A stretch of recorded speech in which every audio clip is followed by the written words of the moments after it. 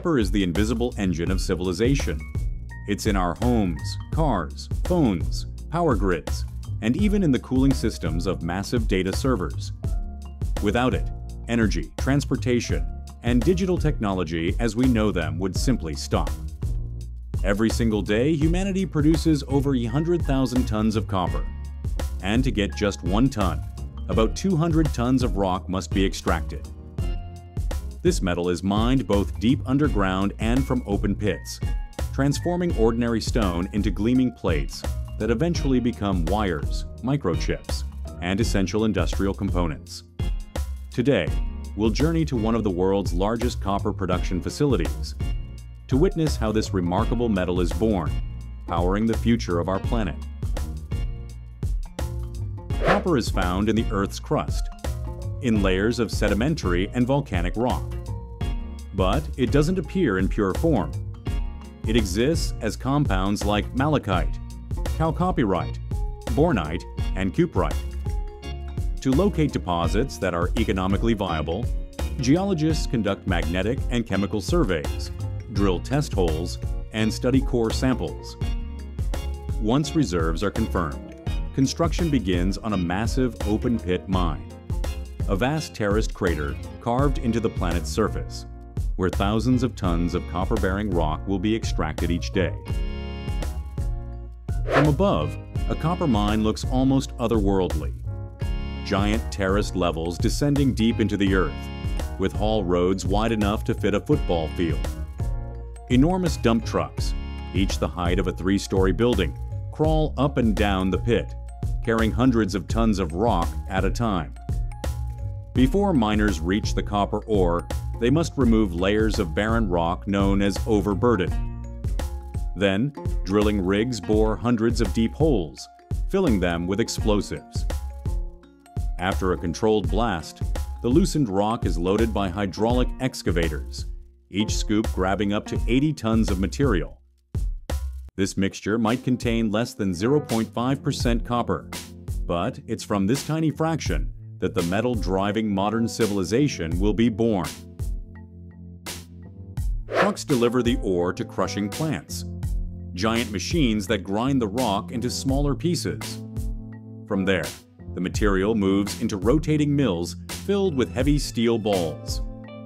As the drums spin, the ore is pulverized into a fine sandy slurry. The slurry is then screened through vibrating sieves and classified to separate particles by size. Next comes chemistry.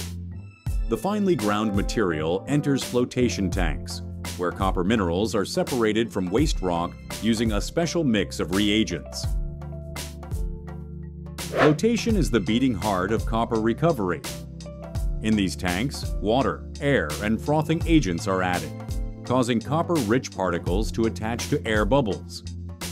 As the bubbles rise, they form a thick metallic foam on the surface. This copper-laden froth is skimmed off, filtered, and dried to produce a concentrate containing 25-30% copper. Thousands of tons of this concentrate are then sent to the smelting plant, where copper begins its transformation from mineral to metal. At the smelter, the copper concentrate is mixed with silica sand, known as flux, which helps remove impurities. The mixture is then heated in massive furnaces to temperatures above 120 degrees to 200 G Guangxi. Inside, molten copper sinks to the bottom, while lighter impurities rise to the surface as slag. The result is blister copper, about 60% pure. It's still far from perfect, but it marks the first true stage of the metal's birth. Next, it's time for refining. Molten copper is poured into a second furnace, where temperature and chemical balance are precisely controlled.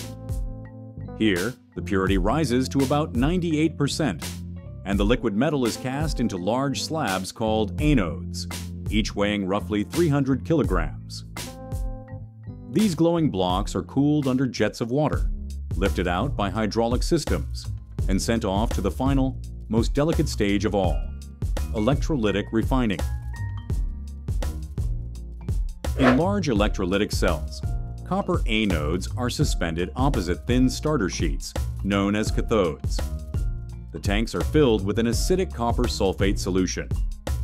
When an electric current passes through, copper ions leave the anode and deposit onto the cathode surface. Over about 10 days, each sheet grows to a thickness of 2.5 centimeters and a weight of over 120 kilograms. The resulting metal is 99.99% pure copper, ready to become electrical wire, microchips, or motor windings. After electrolysis, the pure copper is melted once again, this time in its final form. The molten metal flows into long casting molds, cooling gradually into solid copper billets up to 6 meters long. These billets are then rolled and stretched into thin copper rods. Finally, the rods are coiled into massive spools of wire, the kind that will one day carry electricity through homes, factories, subways, and entire cities. At this stage, every batch of copper undergoes rigorous testing. Factory laboratories are equipped with spectrometers, microscopes, and purity analyzers. Experts check for impurities, analyze the crystal lattice structure, and measure mechanical strength, even the slightest deviation, and the batch is sent back for resmelting. Copper used in electrical networks or electronics must be flawless. A microscopic crack can mean a loss of conductivity and a system failure. Quality control at this level is closer to precision craftsmanship than industrial work. Everything must be perfect. Here's a remarkable fact. Around 35% of all copper in the world comes not from ore, but from recycled material. Old wires, pipes, and electronic components are collected and sent to recycling plants, where they go through the same stages sorting, melting, and electrolysis. Copper doesn't lose its properties, even after dozens of recycling cycles. That makes it one of the most sustainable materials in modern industry. Every old cable or scrap of metal can be reborn as part of a new power grid or a smartphone circuit. It's not just resource efficiency. It's a step toward a closed-loop economy, where waste becomes raw material. Copper production is one of the most energy-intensive industries, yet it's rapidly evolving towards sustainability.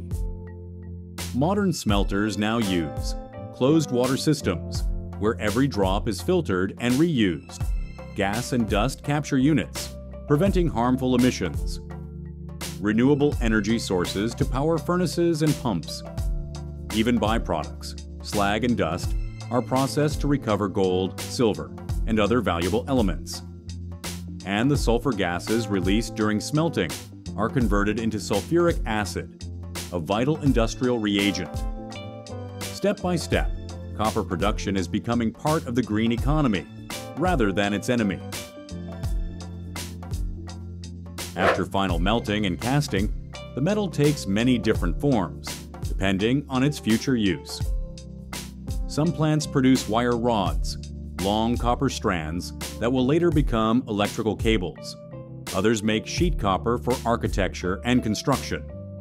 And some specialize in tubular copper, used in air conditioners, refrigerators, and plumbing systems. Each form has its own standards, thickness controls, and traceable documentation.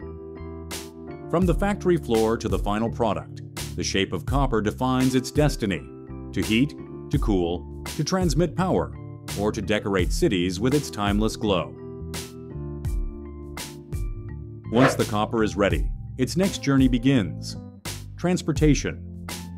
Finished cathodes, rods, and ingots are shipped to global warehouses and ports. Massive container ships, trains, and trucks carry the metal across continents to China, Europe, the United States, where it becomes part of electronics, cars, and appliances. Every batch has a unique identification code, allowing its journey to be tracked from mine to manufacturer. Copper isn't just a material, it's a vital current in the global economy, driving energy, technology, and progress. Today, copper stands at the heart of the clean energy revolution. Without it, there can be no solar panels or wind turbines to carry electricity, electric vehicles, which contain four times more copper than conventional cars, charging stations and power grids that deliver energy to the cities of tomorrow. Copper remains the ultimate conductor of heat and electricity, and thanks to it, humanity can move toward a sustainable, electrified world. In a sense, green energy runs on red metal. Copper production is a symphony of science, technology, and human skill. From blasting rock and smelting ore to electrolysis and recycling, every stage reflects precision, strength, and ingenuity. All so that billions of people can have light, power, and connection. When you turn on a lamp, charge your phone, or drive an electric car, remember, somewhere deep underground began the journey of a tiny particle of metal that now connects the entire human race, quite literally. Copper isn't just a material. It's the nervous system of civilization,